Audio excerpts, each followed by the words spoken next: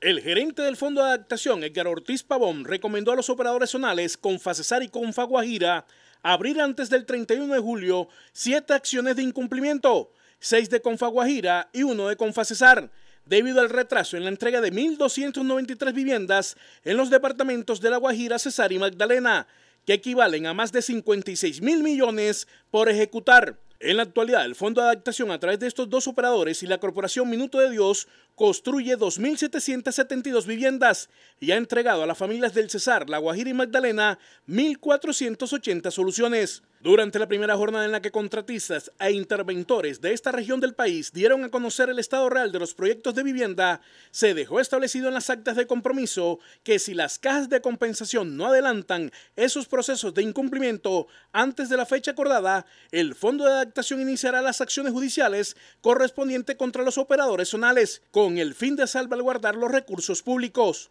A este compromiso llegaron los 37 operadores citados al Salón Bolívar de la Gobernación del Magdalena, donde rindieron cuenta del estado de los proyectos y plantearon soluciones para avanzar en la entrega de los mismos. En el caso puntual de Confacesar, el gerente del fondo advirtió que si no se cumplen los compromisos de entrega en el departamento del Cesar antes del 30 de agosto, se recomendará abrir cuatro procesos más a este operador. El gobierno del presidente Iván Duque ha trazado una línea para proteger los recursos del Estado invertidos en estos proyectos con firmeza y transparencia y por eso les pido a ustedes, contratistas e interventores responsables de los proyectos, pensar en la gran cantidad de familias que desde hace más de cinco años esperan sus viviendas. Les dijo Ortiz Pavón a los operadores asistentes al primer ejercicio de seguimiento a los proyectos denominados Seguimiento a Fondo.